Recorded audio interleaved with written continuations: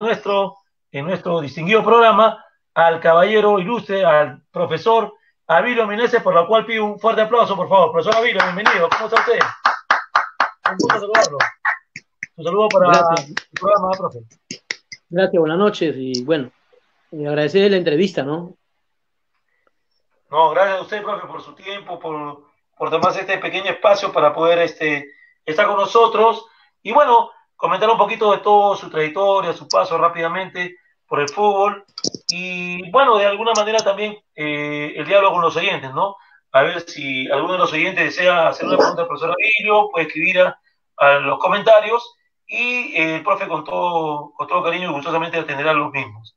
Profesor Avilio, comenzaremos la entrevista el día de hoy haciéndole algunas preguntitas, usted sabe, eh, estamos en un momento de crisis mundial, momento de pandemia, ¿Cómo está sobrellevando este aislamiento social?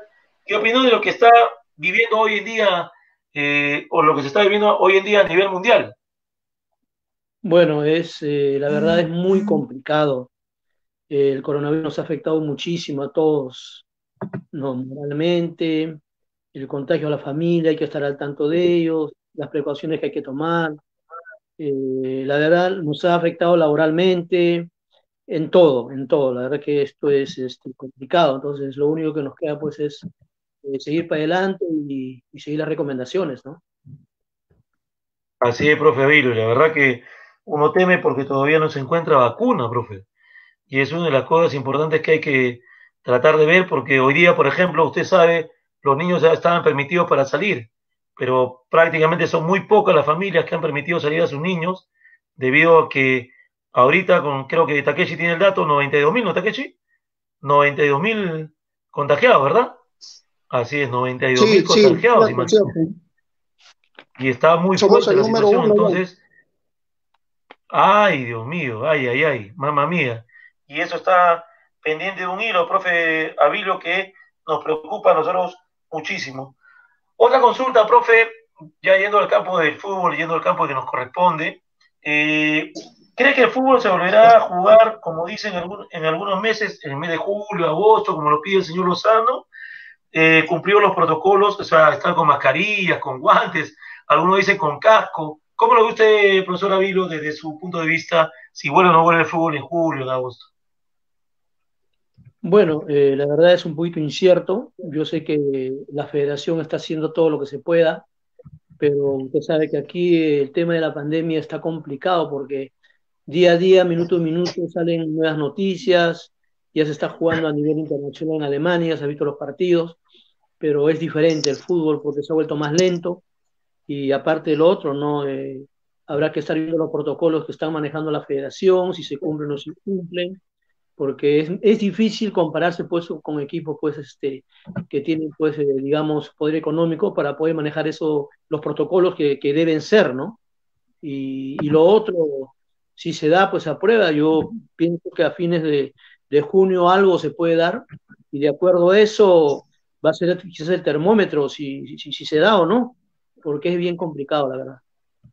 Sí, profe, y si bien es cierto, se ha, se ha este, empezado a jugar ya en Alemania, eh, también tengamos en cuenta que es otra cultura, otra forma de ver la situación de la sociedad.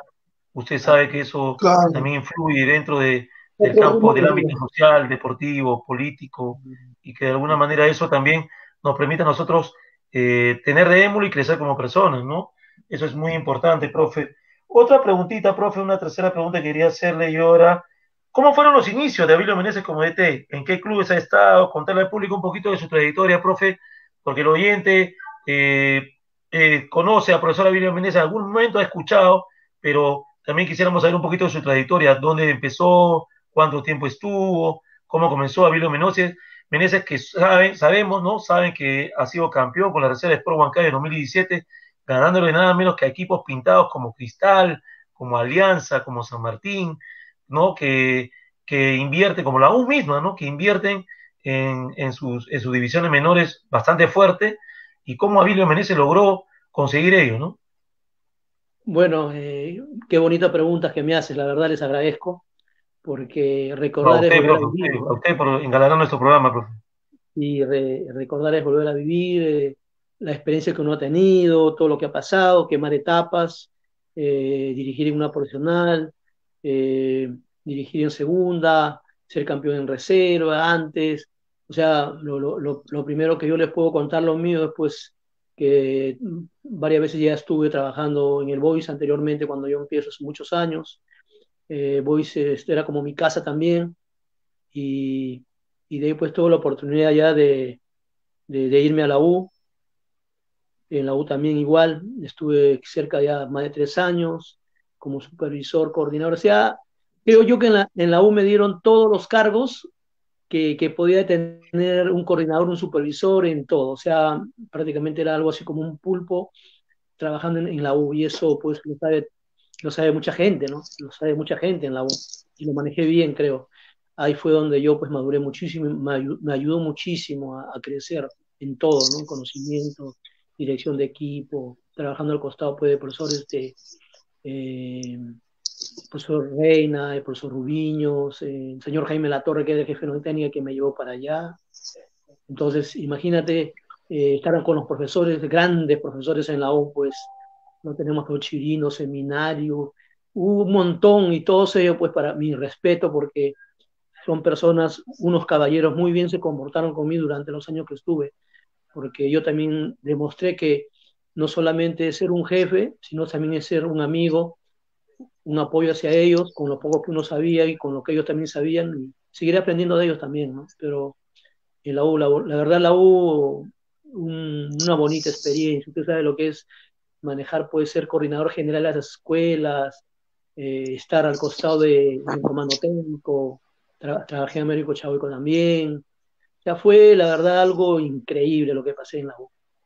De ahí eh, fue un cambio de, se hizo el cambio pues de, eh, ya de, ¿cómo se llama? Mm, cambiaron los, los, directivos, entró el profesor el señor Pinasco, me retiro y me fui a, ahí me llama justo, don, ¿cómo se llama el señor? Este, Raúl Roja para trabajar en, en Huancayo, pues en la Huancaína.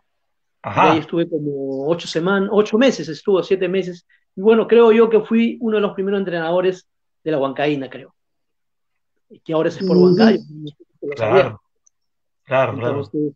Salgo Muy y de ahí regreso ya en 2013 a Huancayo nuevamente. Ya una conversación que tuve con, con, con, con Raúl me invitó y de 2013 hasta el 17, pues que no paré, hasta salir campeón con ellos, ¿no? Con, con, manejando sus menores, armando todo. O sea, mmm, me dio la autonomía don señor Raúl Rojas para yo poder manejar todo ese tema. Y chicos, pues con 13 años, 14 años, imagínate jugando reserva, y creo yo, y comparando como tú lo dijiste antes, ¿no? Comparando con equipos, pues que tienen toda la logística. Tú eres tres o cuatro en tu comando técnico, ellos pues bajan con cuánto, con siete, y tienen todo no es por merecer nada, pero eh, la verdad es una verdad a veces en, es una verdad a veces en el fútbol de provincia, ¿no? A veces no, no puedes tenerlo todo, pero tú sabes también dónde vas y con las buenas personas que te ayudan, entonces tú puedes manejarlo, ¿no? Entonces ese, es, lo que me pasó, ¿no? Y los chicos entendieron, eh, se dieron cuenta que esto era sacrificio, y después de ahí mm, yo creo que lo que me estaba pasando un poquito también es que Llego también, llegué a trabajar también en, en la San Marcos con el profesor Roberto Chale, casi siete ah, meses también. Mire, bonito. No. ¿Qué tal la experiencia con el profe Roberto?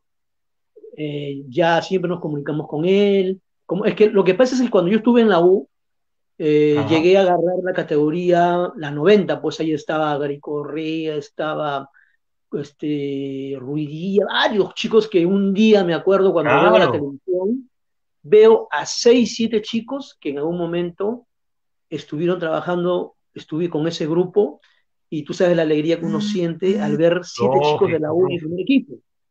Entonces, es, es, es, es, es algo que, que te llama la atención y te agarra una melancolía, ¿no? Y eso es lo que me pasó, oh, ¿no?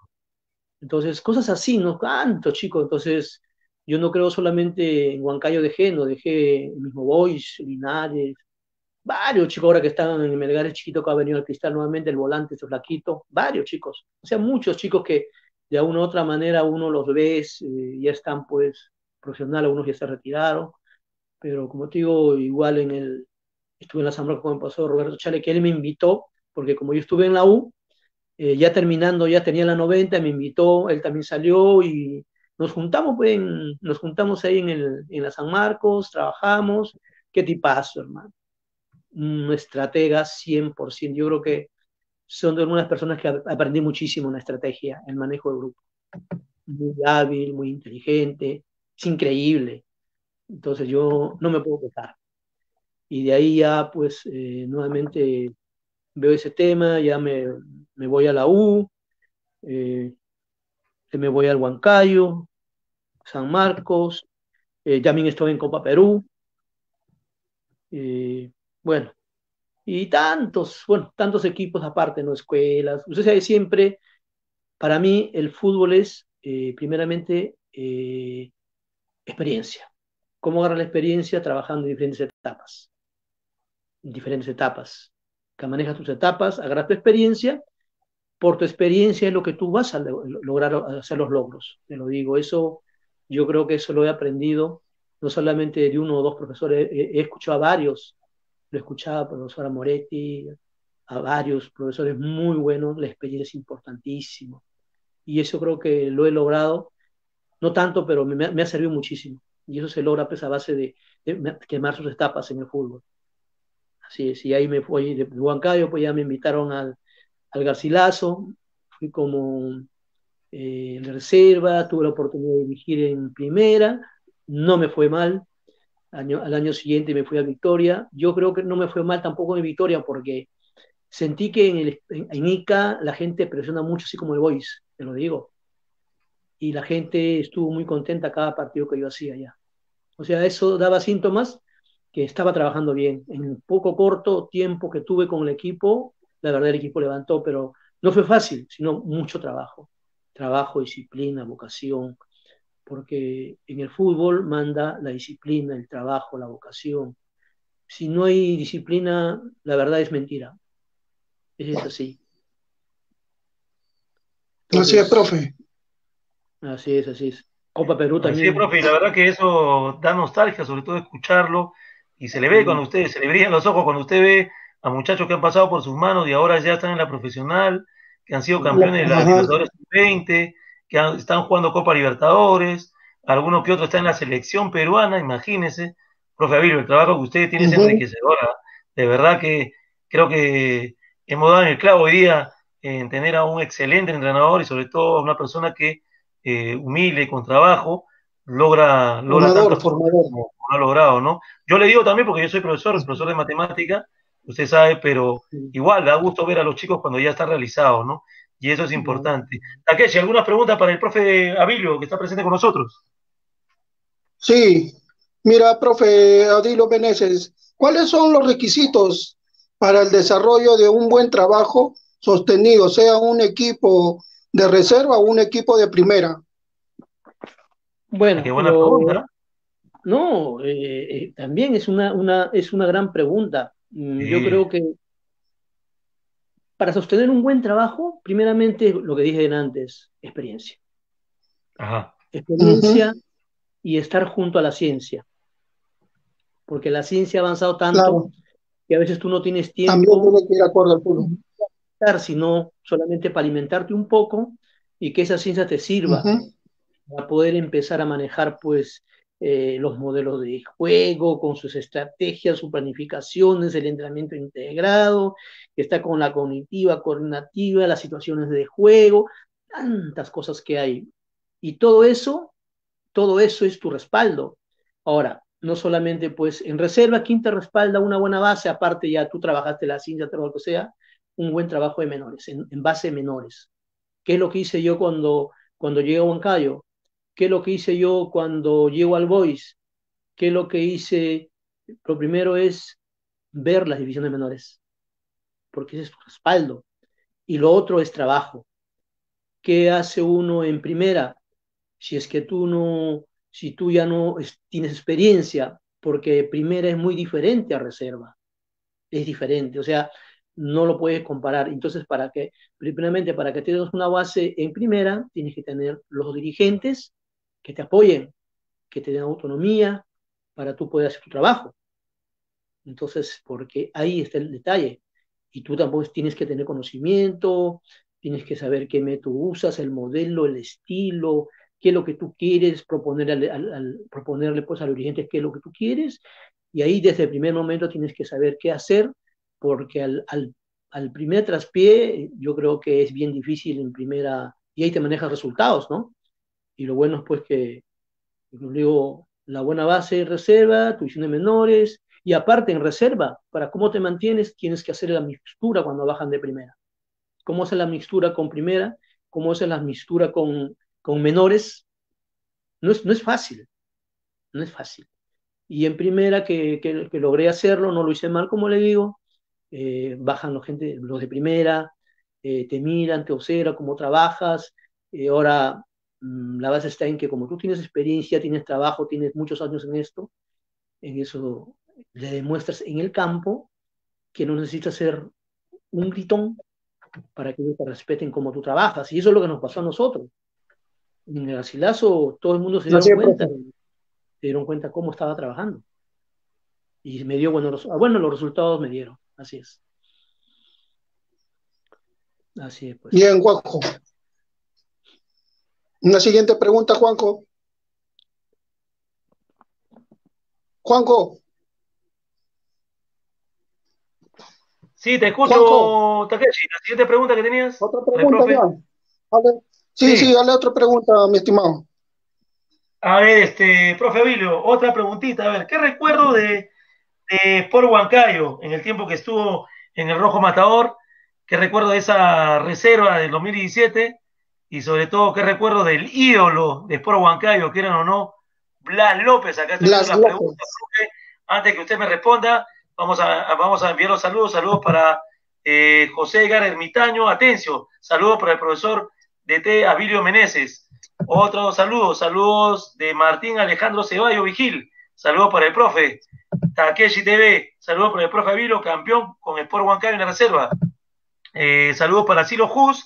Dice mi respeto al profe Abilio Meneses. ¿Y qué opina de Blas López, el César Cueto de los Andes? Ay, ay, ay. Dios mío. Bueno, vamos, eh, profe con la pregunta que le estaba haciendo y, y los saludos, ¿no? Que la gente también lo, está identificando por las redes, profe. Muchas gracias por, el saludo, la verdad, igual manera, eh, retribuido, retribuido que bueno, eh, con respecto a Blas López, pues ¿qué, qué no le podría decirle lo bien que, que, fue Blas López allá en Huancayo con el club, la gente, eh, fue un caballero, fue un líder, un referente, y me acuerdo que llegó a jugar partido con nosotros en reserva, pues pidió bajar a jugar por reserva. ¿Se ah, sí, mire. Claro, y me acuerdo que eh, el partido empezó y bueno, eh, el segundo tiempo yo nunca lo había visto correr tanto a, a Blas porque él es un hombre, pues es un 10 que pasador, pasador, pasador, y bueno, tuvimos la mala fortuna pues de tener 1-0 en primer tiempo, creo que no me equivoco ahí, y el segundo tiempo se puso la camiseta, se puso el equipo, y hasta delantero se volvió, y creo que hizo un gol de cabeza, empatamos ah, Mire, mire, Entonces, yo me di cuenta de lo que él quería transmitir a esos chicos. Ah, eso es importante. Entonces, eh, me di cuenta que, que, que era un referente, y era una persona que habló con los chicos, conversamos y yo pues eh, al momento de las charlas conversaba, le decía, bueno muchachos, lo único que tienen que hacer ustedes es denle la pelotita a él que él se las va a poner, porque pone unas pelotas, giraba y, y nada más, pero, pero el segundo tiempo pues se nos complicó y, y, se fue adelante y yo no creo que recibió un centro y de palo me hizo el gol, yo me quedé tonto porque la verdad hasta ahora en los partidos él no había hecho eso, pues, ya, yo creo que él quiso, quiso, quiso hacer algo más por la reserva y lo hizo, ¿no? Profe, raro ver a un paraguayo que juegue de esa manera, ¿no? Raro ver, ¿no? sí, y, pues como digo, él, él solamente era pues de medio campo, llegaba hasta un poquito al área, ¿no? Pero hacer lo que hizo él, ay, entonces, como digo, yo tengo muy buenos recuerdos de él, el club, la gente lo quiere mucho, hablar, es un ídolo. Yo creo que es, es, bien, va a ser, va a correr. Yo no creo que lo, olviden a Blas, eso sí te lo digo. Difícil, difícil. ¿Qué recuerdo de esa reserva de Sport Huancayo, profe? ¿Qué, qué, qué jugadores se acuerda usted ahí? Por ejemplo, hay varios jugadores que ahora están en, Copa Perú, que están este, por ahí en primera. ¿Qué recuerdo de esa, de esa campaña del 2017, profe Vilio? Uh, hay bastantes chicos.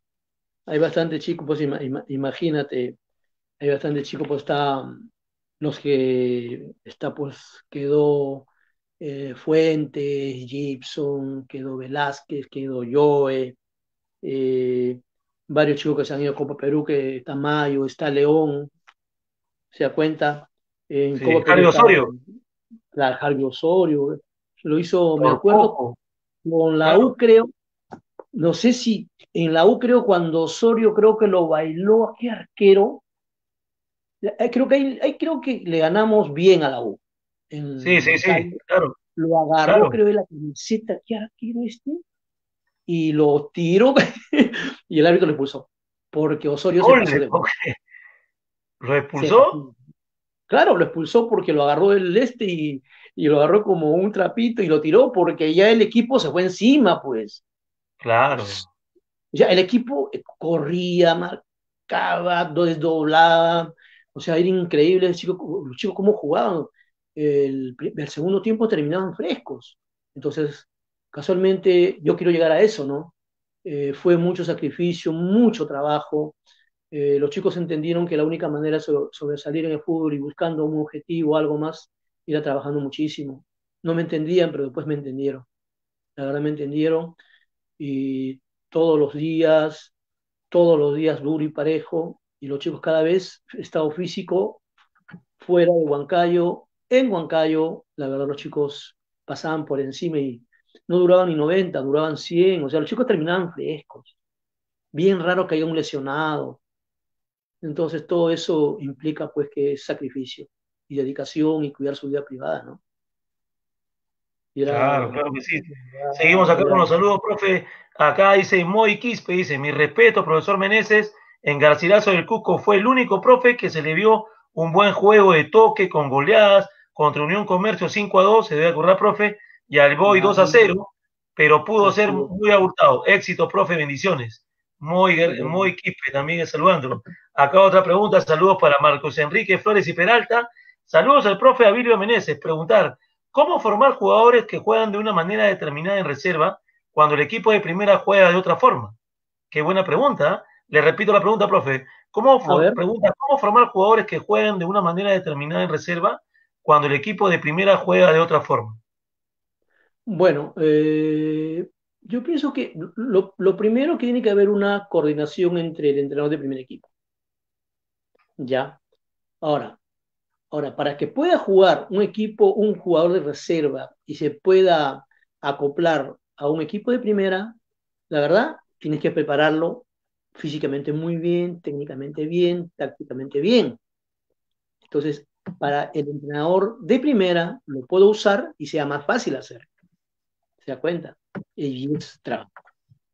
Es técnico. ¿Por qué? Porque en primera ese chico de reserva no le van a perdonar un pase, pues. Ese chico de cinco, de, de, dos, falla uno, pero de primera se lo come en vivo. ¿Sabe por qué? Porque es así. Ese chico tiene que estar bien preparado. Entonces, a eso quería yo siempre llegar, ¿no? Bien preparado. Entonces, cuando los chicos subían, tenían que marcar la diferencia. Y eso es trabajo. Trabajo. Y el profesor se, se quedaba tranquilo, contento, porque el chico corría, marcaba, se metía. Entonces, eh, le, hacía fácil el trabajo con las indicaciones. Y aparte de lo otro, ¿no? El profesor, eh, conversar con él, coordinar con él cómo juega, qué estilo, qué modelo. Él juega así, cómo quiere que juegue este jugador. Igual cuando bajaban de primera, profesor, ¿cómo juega él? ¿Cómo lo puedo ubicar? Porque es así, pues. Yo no puedo hacer jugar a un jugador de primera como yo quiero. El profesor quiere. Ahora, yo quiero que él me desdoble por derecha, quiero que me juegue de enganche, quiero que me juegue de esa manera. Entonces, igual, yo le pido a mi jugador de reserva, igual cuando suba, qué cosa es lo que él quiere que juegue. Entonces, el profesor le da los últimos detalles. Pero como te digo, todo es trabajo porque acá en fútbol ya está discutido todo. Técnica, táctica, parte física y parte psicológica. Así es. Así es, profe. Es muy cierto y muy buena pregunta la que nos ha hecho el oyente, ¿no? Otra preguntita, profe, eh, ya casi en la parte culminante de esta entrevista, que la, cual agradecemos muchísimo, porque sabemos que usted es un hombre bastante ocupado y le agradecemos la diferencia que ha tenido para con nosotros aquí en los files de Lima Gallo. en el programa. A ver, una otra preguntita más que yo le quería hacer era, ¿cuáles son los proyectos que hoy en día Abilio Meneses tenía, bueno, antes de la pandemia, y, lo que está haciendo es, viene desarrollando de manera virtual de repente también como, como entrenador de, fútbol, mi estimado profe Abilio?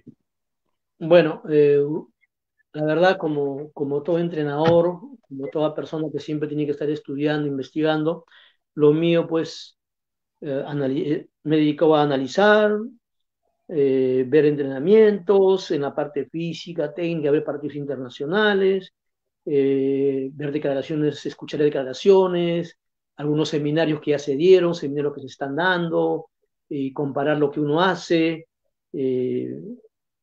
Yo creo que eso es importante para ver cómo la ciencia va avanzando, ese tema ya inclusive ir viendo el tema del bar que se dio, tantas cosas, pero lo otro es investigar, seguir investigando, seguir investigando, leer, volver a repasar esa mente porque la mente es frágil, ver trabajos, trabajo de estructura, trabajo de definición, eh, ver qué cosas hace en un partido uno y qué hice bien, estoy trabajando bien en la parte defensiva, estoy trabajando bien la parte ofensiva, estoy desdoblando bien, mejores son rápidos, hay técnica, no técnica, qué hago para mejorar la saltabilidad, la potencia, eh, cómo hay que rematar mejor, la posición, hago un, o sea, como le digo, mis salidas son rápidas, mejor tienen que ser más veloces, ¿qué hago para que mejor sea más veloz? ¿Qué hago para que mejor maneje siempre su sistema? ¿Qué hago para que maneje siempre el oleaje bien ordenaditos? Porque usted sabe, el fútbol se ve bien claro los oleajes. Para mí, el secreto, una de las grandes cosas que yo siempre he tratado de manejar es, empiezo por atrás. Mi defensa. Trabajo bien mi defensa porque antes de entrar a un partido yo tengo el 0-0. Y si yo me descuido, me pueden ganar. Pero si no me descuido, me voy con un punto. Entonces, una vez que yo tengo un punto, entonces voy pensando, estoy de casa, estoy de visita, ¿qué necesito? Ya mi, si ya empezaron, los jugadores ya empezaron a fregar un poquito porque mi jugador hizo, hizo 20 piques y el otro quedó en 10, por ahí lo mato. Mm, Entonces por ahí voy mermando, mermando, mermando, mermando y, y, eso me ha pasado porque varias veces he conversado con gente de la reserva, gente profesores y me han preguntado, profe, ¿cómo es usted? Porque usted, usted desgasta al rival. Claro, lo desgasto no porque mejores, pues, este, o sea, por, gusto, sino que van y vienen, van y vienen, van y vienen, y un momento ya no da. O sea, me decía, estudia muy astuto, usted es muy pícara, bueno, etcétera, etcétera, pero todas esas cosas hay que meterlo, la voluntad del trabajo, las ganas. Eso, todo eso he tratado de investigar y yo creo que lo mío es seguir viendo que el estilo, el modelo, la agresividad, para mí es importante la agresividad. El que no es agresivo en el fútbol yo trato que el 10 se convierta en 6 y el 6 se convierta en 10, con eso te digo todo. El 10, que no marca mucho, tiene que marcar. El 6, que marca, tiene que tocar una pelota. Porque yo no lo voy a buscar al 10 para que, para que recién que está a 5 metros me pueda dar un pase de gol. Entonces, ¿por qué no lo hacemos un 6 que la, Entonces, ahorramos tiempo. Entonces, todas esas cositas, pero uh, tantas cosas para la de fútbol, la verdad pero se lo digo bien claro, para mí en la parte defensiva, voy viendo la parte ofensiva, los contraataques, los, tantas cosas, como digo, que, que hay que hacer y, y esto ya, el, el, fútbol es así, ¿no? Yo sé que todos los grandes entrenadores lo, lo hacen, pero ellos tienen pues quizás un apoyito más por ahí, sus, su gente que los ayuda, claro. los estadísticos, acá, este dos veces, tres veces, cuatro veces, imagínate tener yo a mi alrededor eso, ya, ¿qué, qué, qué más quisiera? Uf, imagínese, lleno por esa línea de los entrenadores, profe. Eh, mi siguiente pregunta era, ¿qué línea de qué entrenador sigue usted o más o menos se asemeja a su estilo de juego, a su estilo de trabajo, profe?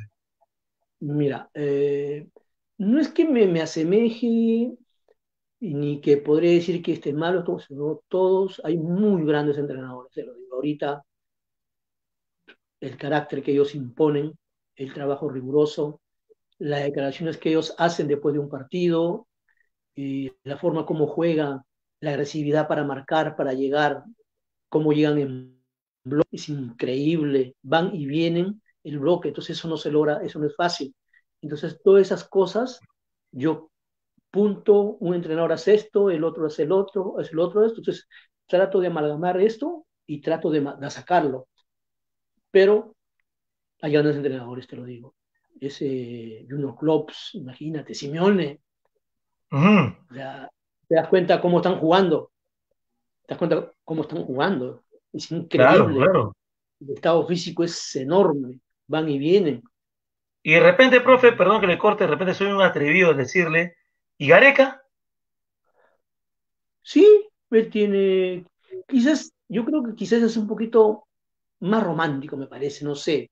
Ajá. Pero tiene su estilo, tiene su manera de trabajar, pero quizás a veces uno, uno quizás, eh, yo en mi caso, y yo no, no solamente yo, no muchos entrenadores, a veces quisieran un poquito más de agresividad, de repente él lo está logrando, de a poco, de repente, y yo creo que eso lo valora porque la verdad que es un gran entrenador, la verdad lo felicito, ha hecho un muy buen trabajo, le ha dado al Perú, hermano, después de cuántos años una clasificación que nadie se lo iba a dar, te lo digo. eso, todos los peruanos estamos agradecidos con Gareca y siempre lo vamos a tener presente. Así es. Sí, un, peruano más, profe, un peruano más. Profe, otra pregunta acá, otro oyente, Marco Flores, bueno, el mismo oyente nos dice, para el profesor Abilio, ¿qué es jugar bien? A ver, jugar bien, buena técnica, claro, buena parte física, táctica y la psicológica. Ajá. La posesión de balón, porque tú, si tú tienes una buena posesión de balón, mueves al rival para buscar el lado débil de ellos. Y si tú... Es como el ajedrez, ¿no, profe? Y buscar el lado por donde atacarlo. Y si pierdes el balón, así como tus jugadores atacaron, igual tienen que replegar. Y cuando tus jugadores repliegan bien, hacen las líneas ordenaditas, ¿qué viene después de ahí? Un buen ataque ordenado. Esas son. Claro, o sea, si yo ataco desordenadamente, nunca voy a atacar ordenadamente, a menos que pues que me hayan regalado medio campo y yo la lanzo y tengo mis dos jugadores rápidos y van y la meten, ¿no? Pero yo hago un buen repliegue, bien ordenadito, mis dos líneas de A4, con mi 1-1 ahí esperando, y recupero, sale el lateral con el volante por fuera, se mueve el volante medio, la recibe, los delanteros corren, salen y ¡rum! al diablo. Entonces, eso es y la velocidad. Para mí, la velocidad. Tengo tres jugadores técnicos lentos, tengo tres goles rápidos, de repente me decido por los más rápidos, dos, y uno no importa lento, pero técnico. Porque la velocidad. Un tipo Blas, así. Así es. Profe, una, la Yapa, la del estribo, ¿Messi o Ronaldo? ¿O Cristiano Ronaldo? ¿Quién es para usted el mejor jugador? Cada uno tiene su estilo. Eh, Messi, pues, dribleador. Messi, pues, eh, tienes que tenerlo, a veces le pones tres o cuatro y se los lleva, pero a Ronaldo pues le das, un espacio y te mata, le, te mete 30 metros, 40 y te patea al arco. Justo he estado, hoy día he estado viendo los, goles de, de, justo, mira, esa punta que me hiciste, de Messi y de Ronaldo. ¿Te das cuenta? Es increíble, los dos son diferentes y al final son iguales porque hacen los goles al final terminan el gol porque ese es el objetivo.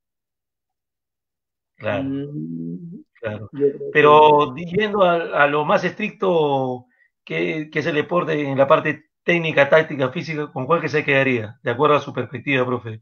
De acuerdo en la parte física, con Ronaldo. En la parte técnica, con Messi. ¿Los pondría los dos, ¿sabes? Tal vez. ¿O solamente a uno de ellos? Si le dieran a escoger. Verdad, yo, yo lo pondría a los dos cada uno su estilo, su estilo, ubicándolo bonito. Pero es bien difícil, porque cuesta mucha plata tener a dos jugadores que un momento, ¿no? Así es. Así es, profe Avilio. Profesor Avilio, muchísimas gracias por haber estado en nuestro programa. Creo que ha sido unos conceptos muy, pero muy específicos, muy intuitivos. Conocer un poco también de usted, conocer un poco también de su trayectoria, de cómo piensa, de cómo está pasando el aislamiento. Muchísimas gracias por su tiempo, profesor Abilio. Creo que hoy día hemos sentido un, gran repaso de todo lo que es la técnica, la táctica y lo principal, ¿no? lo que se hace en el trabajo del día a día con los futbolistas, en este caso, con la disciplina, con el esfuerzo, con humildad, que se pueden lograr cosas, y no solamente en el fútbol, profe Avilio, usted sabe que en toda carrera, en todo deporte, se puede lograr ello. Su palabra final de despedida, profesor Avilio, agradeciéndole de antemano a nombre de Takeshi mío, que haya estado con nosotros aquí en el programa, para todos los amigos de los fieles de Limangayo. Bueno, eh, solamente decirles que la disciplina y la puntualidad para mí es importante. Un minuto antes ya es tarde. Ya llegaste tarde. Eso es primerito. Acá Está no como hay... mi profe de colegio, ¿eh? Está como mi profe de colegio. acá no hay, acá no hay este, que si vienes caminando, llegas tarde, no sirves. Llega tarde, pero ven corriendo. Ajá. ¿Te das cuenta? Entonces, ahí nomás te reflejas cómo entrenas, caminas, o sea, eso es importante para mí importantísimo, la disciplina, la puntualidad, las ganas, el trabajo. El interés, ¿no? Tú lo vas observando uno por uno, si este tocó bien, no tocó bien, y si tú ves en un entrenamiento que se quiere hacer lo que le da la gana dos, tres veces, sácalo. Ajá. hermano, no sirve. Bueno, yo lo, yo lo manejo así, y los chicos yo creo que me entendieron, y a veces cuando eh, me conversaban conmigo, a veces conversaban con gente de primera y lo de primera decían, pero ¿qué a hacer? Porque es así, cuando campeonamos, se dieron cuenta que lo que yo les dije era cierto, con mucho sacrificio. Ahí me, recién me entendieron, ¿ah? cuando campeonamos, que era necesario hacer lo que hicimos. Así es. Y fue un periodo bastante fuerte, que me consta, porque yo estuve ahí cerca, usted sabe, hemos estado también este, muchas veces conversando, profe, y nada, agradecerle muchísimo por esa entrevista, por todo lo que al menos a mi equipo, por Huancayo, usted le ha dado. Y en Cusco también lo quieren bastante. Ahí, profe, vuelva al Cusco, dicen acá. necesitamos éxito, muy Quispe. Y nada, profe, en este mundo del fútbol siempre nos volvemos a encontrar, siempre sea una cancha, sea en el estadio, sea a las afueras de él, o de repente en una entrevista. Muchísimas gracias, profesor Avilo, por estar con nosotros. Muchos éxitos en lo que viene para usted. Ojalá vuelva al fútbol pronto. Yo creo que el próximo año tranquilamente, con más calma, se puede tomar esto. Dicen mucho que vuelve en junio, en julio, en agosto, pero ya algunos ya, ya pecan de escépticos, pero si se ha cancelado los fútbol de mayor relevancia aquí en Sudamérica, imagínense pues el Perú, ¿por qué va a ser la excepción? Nada más, profesor Avilio, muchísimas gracias por estar aquí con nosotros y saludos a Steven, saludos a la familia, cuídese, quédese en casa y obviamente también este estar siempre pendiente de todas sus actividades, profe Bueno, eh, muchísimas gracias. La verdad les agradezco la entrevista, mm, me he sentido bien, me he explayado un poquito más. Gracias, profe. Digo, ahora esperar, ¿no? Esperar, ojalá pues que hace poco tuve una conversación también con, con Raúl, ojalá pues igual don Raúl. Uy, uy, uy, don Raúl Rojas. Ajá. Eh, eso fue, no, eso fue pues este en, en, Año Nuevo, ¿no? Se conversó bonito. Ah, ya, ya, ya mucho don Raúl, la, verdad, don Raúl, para mí ha sido como un padre todos esos años que estaba allá porque he aprendido mucho de él, mucho, mucho, aunque no lo crea, ¿no? Entonces, igual en el Cusco, conversando con, con, el presidente, igual directivos, pero como le digo, yo creo que Huancayo está dentro, dentro de mi corazón. Ay, ay, ay, profe Vilo, eso lo quería escuchar, eso lo quería. Cuídense, profe Vilo, muchísimas gracias por estar aquí. Listo, muchachos, nos estamos viendo, estoy feliz con el programa. Gracias. Gracias por todo. Nos vemos, cuídense, cuídense. Aplauso para el profesor Avilio, por favor. Aplauso para el profesor Avilio. Nos vemos. Gracias, chicos. Nos vemos. Cuídense. Hasta mañana. Chau, chau, chau. Chau.